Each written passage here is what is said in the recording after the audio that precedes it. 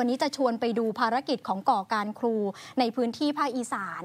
3 อำเภอ 2 จังหวัดใช้ชื่อ 3 ภูค่ะ ก็คืออำเภอสีชมพู ภูผาม่าน และภูกระดึงสามภูนี้อ่าครูจากนะครับ3ภูเขาไปรวมกันนะคะ แล้วก็จัดเวิร์กช็อปเล็ก ๆ เพื่อที่จะสะท้อนความเคลื่อนไหวและการจัดการศึกษาแบบไม่รอหรือระบบค่ะ ได้นะคะมันมีจุดเด่นด้านไหน แล้วก็การระดมความคิด ปักหมุดสำรวจพื้นที่ ให้เห็นศักยภาพเครือข่าย เป็นหนึ่งในกิจกรรมที่เกิดขึ้นในงานก่อการครูสามภู ที่อำเภอสีชมพูจังหวัดขอนแก่น ที่เปิดพื้นที่ให้ครู และนักจัดกระบวนการเรียนรู้ได้มาแลกเปลี่ยน เพื่อสร้างรูปแบบการเรียนการสอน ที่ใช้ต้นทุนในชุมชนเป็นห้องเรียน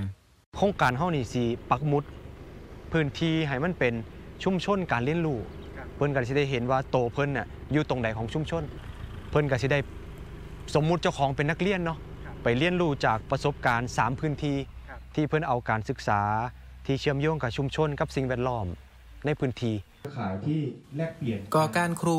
ถูกจัดขึ้นเป็นปีที่ 3 เพื่อสารเครือข่ายครู ที่จะร่วมกันสร้างหลักสูตรการศึกษาในท้องถิ่น ที่เหมาะสมกับบริบทพื้นที่ ได้รับความสนใจจากครูในหลายจังหวัดมาร่วมแลกเปลี่ยนกัน ขับเคลื่อนการศึกษาในชุมชน การศึกษาในปัจจุบันเราเน้นเรียกว่าคอค u ริคูลัมคือหลักสูตรแกนกลาง หลักสูตรแกนกลางมีปัญหาก็คือว่าสิ่งหนึ่งนำไปเปรียบนำไปเทียบกับทุก ๆ โรงเรียน จึงทำให้แบบมันมีแบบเดียว ผลิตภัณฑ์หรือแพ็กเกจที่ออกมามันเหมือนกันไปหมดเลย แต่ในขณะเป็นจริงคือวัตถุดิบมันแตกต่างกัน เพราะฉะนั้นช่องว่างหนึ่งของหลักสูตรก็จึงระบุว่า เพราะฉะนั้นก็ให้โรงเรียนมีสิทธิ์เป็นเจ้าของวิชาความรู้นั้น จึงเปิดเป็นเรียกว่าหลักสูตรสถานศึกษา หรือว่าหลักสูตรท้องถิ่นนั่นเอง การที่จะขับเคลื่อนการศึกษาแบบนี้ต้องเริ่มต้นจากจุดเล็ก ๆ คือที่ห้องเรียนคุณครูต้องกล้าก่อนมีใจกล้า จากนั้นออกแบบการเรียนรู้ หน้าที่ของคุณครูคือเชื่อมโยงให้ได้ การอินทิเกรตสู่โรงเรียนกับสู่ชุมชน มันคือสิ่งที่คานกันแบบนี้ครับไปด้วยกันขาดสิ่งใดสิ่งหนึ่งไม่ได้ ในงานนี้มี 3 พื้นที่ต้นแบบ ที่จัดการเรียนรู้อย่างน่าสนใจมาแบ่งปันแนวคิด จากอำเภอภูผาม่านที่ใช้หลักสูตรท้องถิ่น บูรณาการกับชุมชนและพื้นที่ จังหวัดกาฬสินที่ใช้นิเวศป่าไม้ จัดการเรียนรู้สู่การเห็นคุณค่าของธรรมชาติ และอำเภอสีชมพู ห้องเรียนศิลปะจากธรรมชาติ จากมุมมองของนักวิทยาศาสตร์ ได้รับความสนใจจากครู และผู้ที่สนใจทำงานพัฒนาชุมชน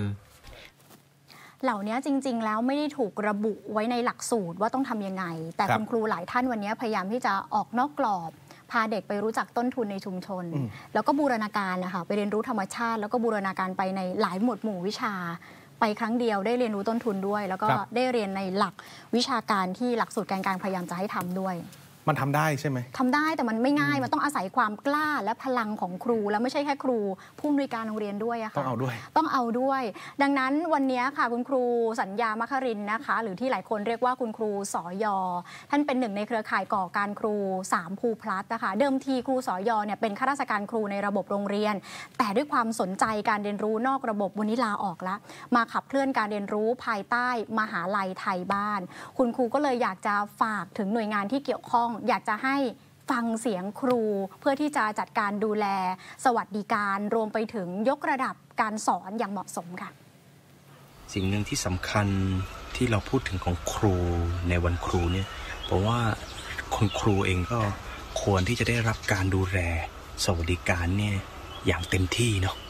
บทบาทหน้างงานจำเป็นหรือเป็นหัวใจก็คือการออกแบบประสบการณ์การเรียนรู้ให้กับผู้เรียนเนี่ยคิดว่าตำแหน่งแห่งหนตรงนี้ควรให้คุณค่าและให้ความสำคัญจริง ๆ งานไหนที่เบียดเบียน พลังงานครู ใช้ครูไปไม่ถูกหน้างงานเนี่ยคิดว่าต้องหยุดแล้วก็ต้องให้คุณค่ากับหัวใจก็คือการพัฒนาผู้เรียนจริง ๆ เสียทีนะครับ เรื่องครูนอกระบบหรือครูที่ไม่ได้อยู่ในโครงสร้าง ในกระแสหลักเองเนี่ยรัฐเองก็ต้องให้ความสำคัญและให้การดูแลจำเป็นอย่างยิ่งเลย เพราะครูเหล่านี้ก็เป็นเหมือนนิเวศหนึ่งในการสร้างการเรียนรู้ให้กับผู้เรียนในชุมชน ก็อยากให้กำลังใจครูแล้วก็อยากจะให้ทุกคนได้ให้ความสำคัญแล้วก็มาสร้างสรรค์การเรียนรู้ เหมือนเราเป็นครูคนหนึ่งเป็นครูสาธารณะร่วมกัน เป็นกำลังใจให้คุณครูทุกท่านนะคะ แต่ว่านอกเหนือจากบทบาทของคุณครูผู้เรียนเนี่ยถือว่าเป็นส่วนสำคัญในการเดินหน้าของระบบการศึกษาที่เราไม่ควรมองข้าม